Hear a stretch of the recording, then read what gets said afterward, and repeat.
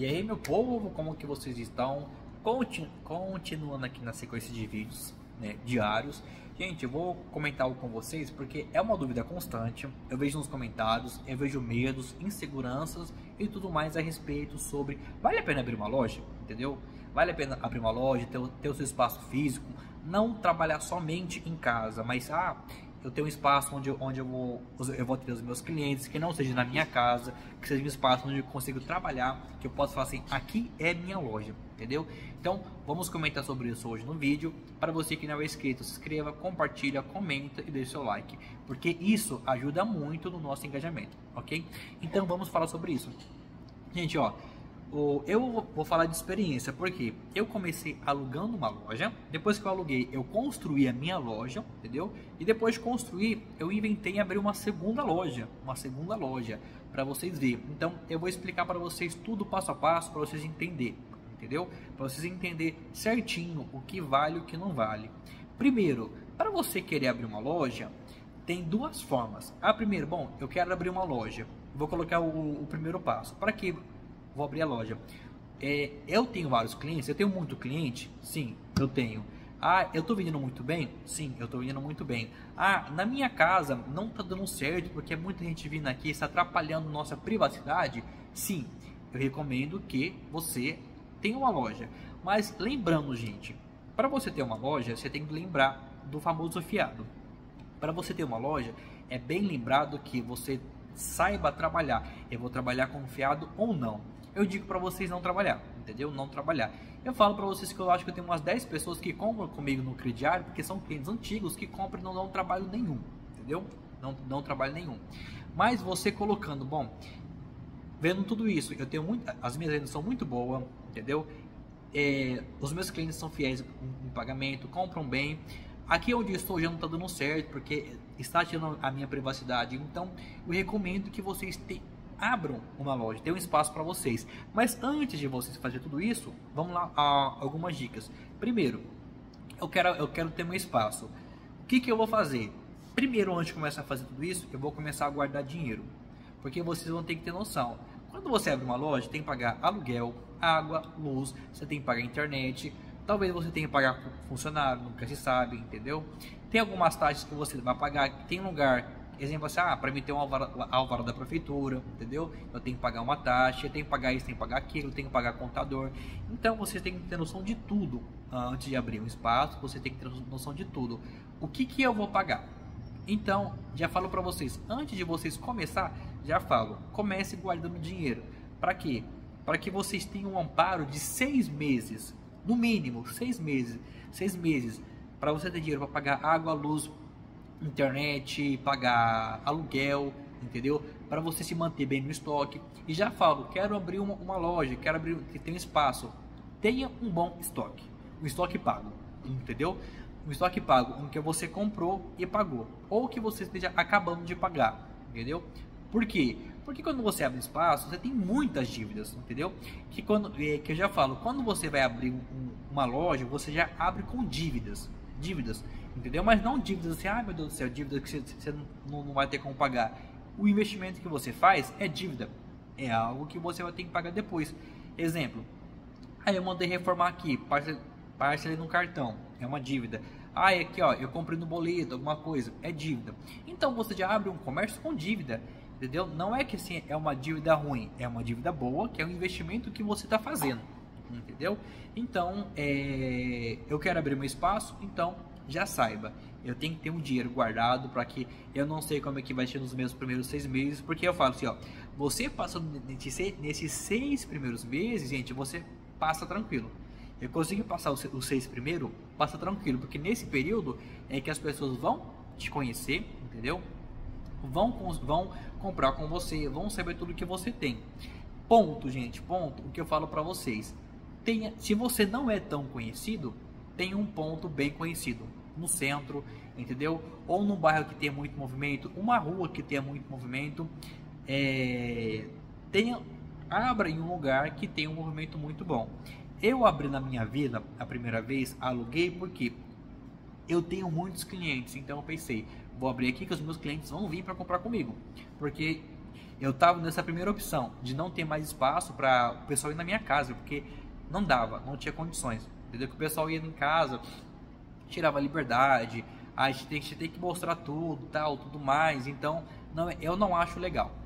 Não acho legal. Então, gente, o escolha um ponto bom, entendeu? Com aluguel que caiba no seu bolso, em que você sabe que vai ter um, um, um bom um bom giro. Porque eu falo para vocês, gente, ó, é, quanto mais se você está alugando um ponto, quanto mais pessoas passam no seu ponto, é legal, porque as pessoas vão ver. Ah, Bruno, mas aqui onde eu, onde eu moro o aluguel é barato. Se o aluguel for barato, beleza, beleza, então você consegue manter. Mas você tem que ser conhecido, porque você abriu um lugar não ser conhecido, abriu fechou. Igual aqui na minha cidade, vários, vários, várias pessoas abriram uma coisa em lugares não estratégicos na cidade. Onde eu moro não é estratégico, mas eu antes de abrir já era conhecido, né? Onde eu moro não é estratégico. Muitas pessoas aqui na cidade abrem em lugar não estratégico, abrem por um tempo e depois fecha porque não aguenta manter, não aguenta, entendeu? E o primeiro lugar que eu, que eu aluguei, né, eu fiquei lá por quase um ano, depois eu construí o meu salão. Então, para mim foi muito bom. Para mim foi muito bom, mas eu falo para vocês, sejam conhecidos, abram em lugar estratégico, entendeu? Que o aluguel caiba no seu orçamento, caiba no seu orçamento, entendeu? Então, antes de começar, é os seis meses que vocês vão colocar de ter um dinheiro para seis meses para pagar todas as contas, um lugar estratégico. Eu falo para vocês, gente, centro é movimento, o centro é vida. Eu hoje em dia me apaixonei aqui por ter uma loja no centro, coisa que eu não tinha antes. Eu falar para vocês que eu tinha medo de abrir loja aqui no centro, eu tinha muito medo de abrir loja aqui no centro.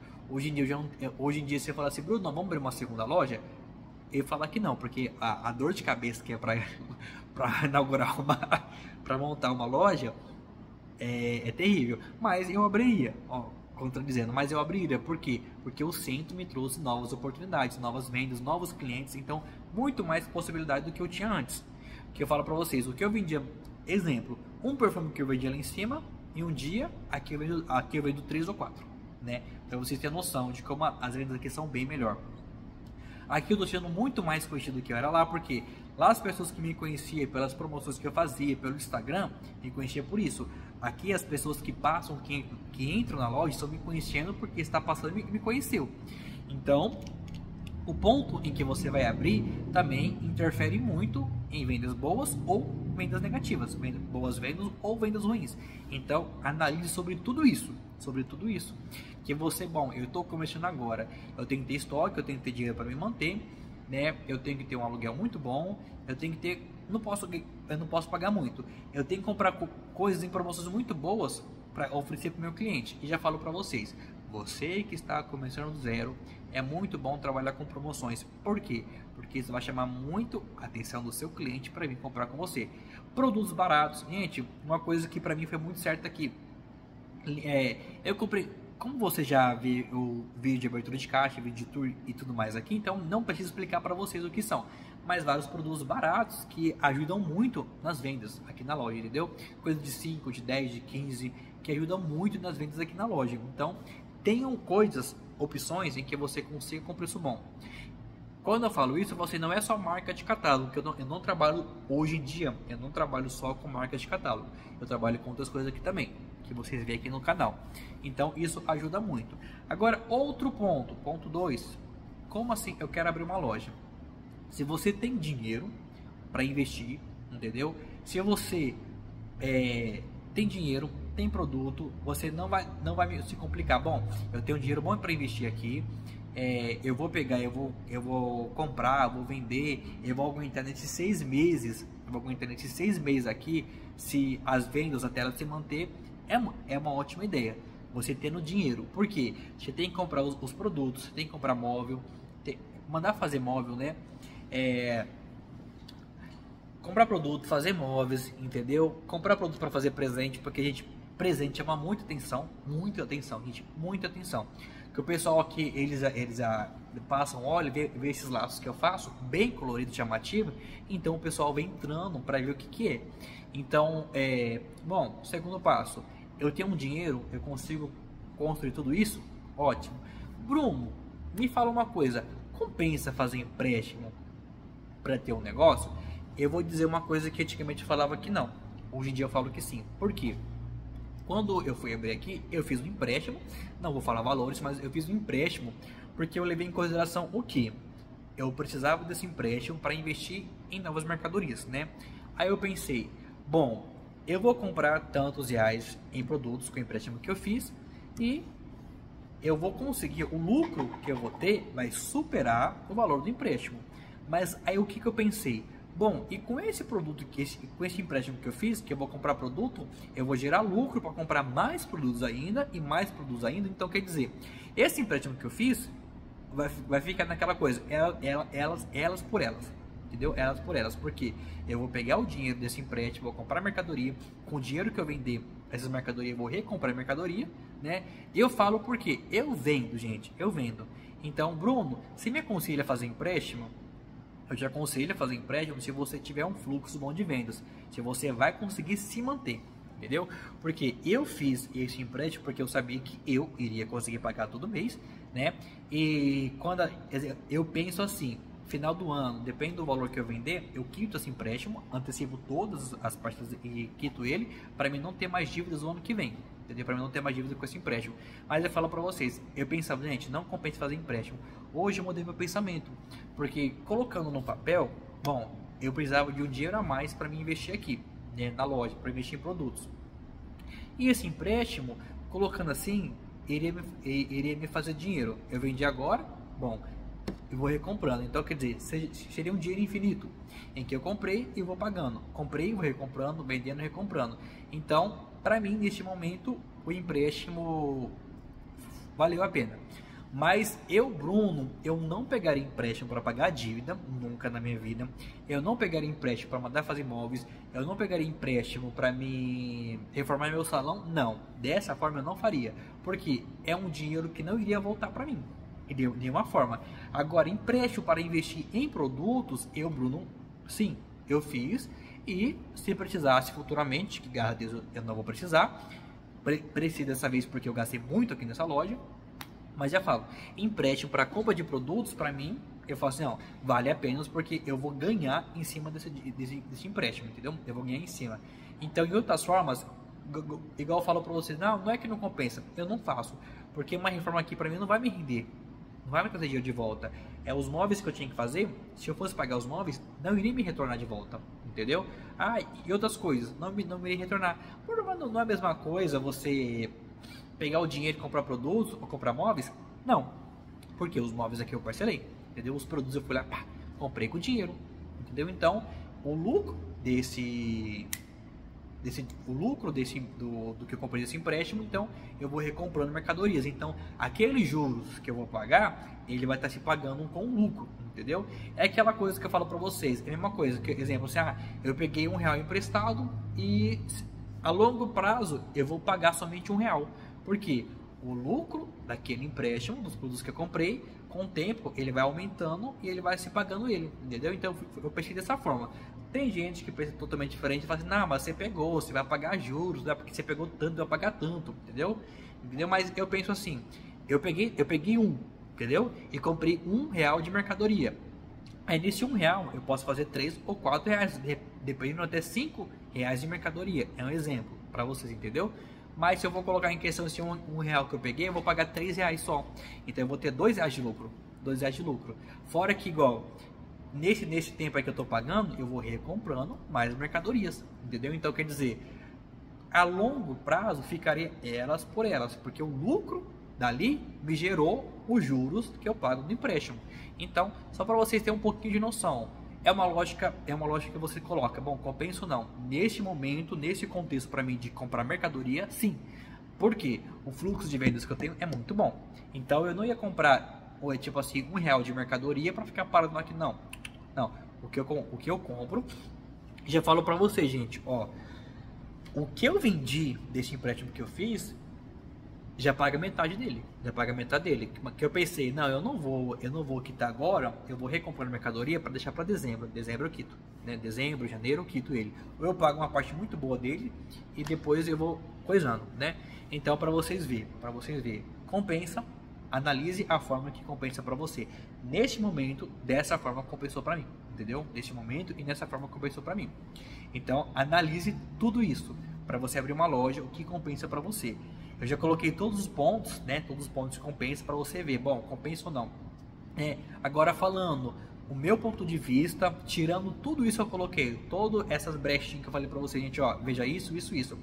Para mim, super compensa abrir uma loja, porque loja é visibilidade, é, você vai vender muito mais, você vai ter mais clientes, entendeu?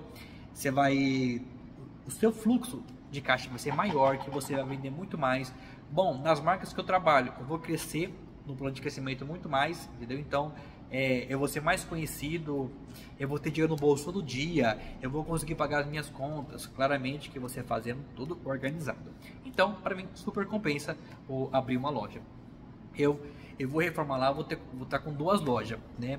Eu ainda não, eu não tenho pretensão de abrir uma terceira loja, mas se um dia eu inventar abrir uma terceira loja, eu já vou estar tá bem, eu vou estar tá bem preparado, tanto aqui como aqui, como aqui, que agora igual é, tudo que eu tinha guardado, eu, eu deixei aqui para investir aqui e precisa de, de, um dinheiro a mais, né? Porque igual eu falei para vocês, aqui foi um, aqui só ó, reforma imóveis eu gastei mais de 55 mil reais, reforma imóveis, entendeu? Sem contar produtos.